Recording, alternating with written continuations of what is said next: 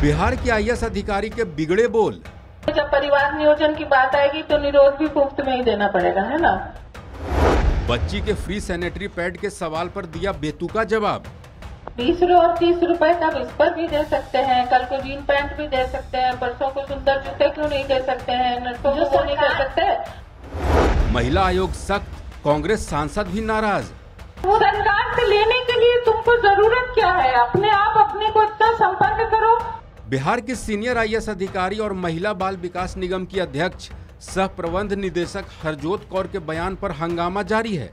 IAS अधिकारी के बयान पर राष्ट्रीय महिला आयोग ने एक्शन लिया और सात दिनों के अंदर लिखित जवाब देने के निर्देश दिए हैं। दरअसल, पूरा हंगामा पटना में आयोजित एक कार्यक्रम से शुरू हुआ। बिहार की राजधानी पटना में बुधवार को महिला एवं बाल विकास निगम और यूनिसेफ की तरफ़ से बेटियों के लिए कार्यक्रम का आयोजन हुआ। इस कार्यक्रम में एक छात्रा ने सवाल किया छात्रा ने पूछा कि सरकार यूनिफॉर्म और स्कॉलरशिप देती है? सरकार 20-30 रुपए के सैनिटरी पैड भी दे सकती है।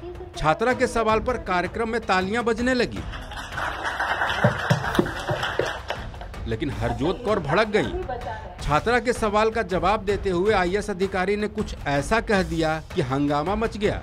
इसका वीडियो सोशल मीडिया पर वायरल है। आप भी सुनिए हरजोत कौर का अजीबो गरीब जवाब। बीस और तीस रूपए रुपए का विस्पर भी दे सकते हैं। कल को जीन पैंट भी दे सकते हैं। परसों को सुंदर जूते क्यों नहीं दे सकते हैं? नर्सों को क्यों नहीं कर सकते? और अंत में जब परिवार नियोजन की बात आएगी तो निरोध भी मुफ़्त में ही देना पड़ेगा है ना? सब कुछ मुफ़्त में लेने की नहीं मैम जो सरकार के हित में जो सरकार को देना चाहिए वो सरकार से लेने के लिए आईएएस अधिकारी हरजोत कौर के विवादित बयान का सिलसिला यहीं तक नहीं रुका। उन्होंने यहाँ तक कह दिया कि वोट करो और ज़्यादा दिक्कत है तो पाकिस्तान चले जाओ। आईएएस के बयान पर कांग्रेस की राज्यसभा सांसद रंजीत रंजन ने तीखी नाराज़गी जताई। रंजीत रंजन ने कहा कि बच्चियों ने सैनिटरी पैड के बारे में खुलकर बात की। इस पर आईएएस को बच्चियों की तारीफ़ करनी चाहिए थी, लेकिन उन्होंने काफ़ी शर्मनाक बयान दिया। सबसे पहले तो मैं कहूँगी कि बिहार जैसी जगह में और पटना में ये इवेंट हो रहा था और बच्चियाँ खुलकर बोल रही थी सैनिटरी पैड के बारे में तो ये बहुत बड़ी बात है। क्योंकि हम लोग गाँव में जाते हैं, आज भी कुछ बच्चे परहेज करते हैं। सह रहे हैं, लेकिन परहेज कर रहे हैं। सबसे पहले तो उस आईएएस को अप्रिशिएट करना चाहिए था कि आप खुलकर इस बात को बोल रहे हो। दूसरी बात, बहुत ही बेसिक रिक्वायरमेंट के बारे में बच्चियाँ बात कर रही थी। अब एक बाथरूम में स्कूल का टूटा हुआ है, वहाँ लड़के भी घुस जाते हैं। आए दिन आप देखते हैं, कुछ ना कुछ इस तरह का हरासमेंट होता है, जिसमें सेक्सुअल हरासमेंट भी होता है। बहुत ही संवेदनशील इशू वो बच्चियाँ डिस्कस करना चाह रही थी। मुझे लगता है कि आईएस ने बहुत ही गैर जिम्मेदारना और एक शर्मनाक तरीके का और एक हास्यापद जवाब दिया है जो नहीं होना चाहिए था, उनको अपनी गलती माननी चाहिए और उनको कहना चाहिए कि अगर उनकी इंटेंशन ये कहने की थी कि बच्चियाँ इंडिपेंडेंट हो तो भाई सैनिटरी पैड स्कूल में कभी इस तरह का डेट आ जाती है कि बच्ची को इमीडिएट सैनिटरी पैड मिलना चाहिए। अब हर स्कूल हर स्टेट ये रिक्वायरमेंट देती है। इवन आप मार्केट जाइए मॉल जाइए, वो भी सैनिटरी पैड वॉशरूम में रखते हैं।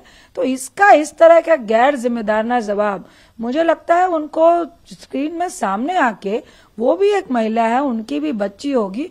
उनको कहना चाहिए कि मुझसे गलती हो गई। एक तरफ़ कांग्रेस सांसद रंजीत रंजन ने हरजोत कौर के बयान पर नाराज़गी जताई है, दूसरी तरफ़ हरजोत कौर की सफ़ाई भी आई है।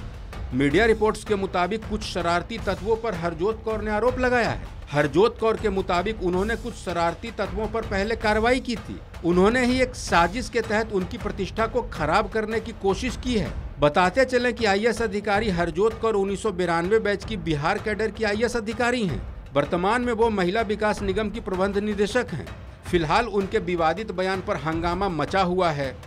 यहाँ तक कि कांग्रेस की राज्यसभा सांसद ने हरजोत कौर के बयान पर तीखी प्रतिक्रिया दी है।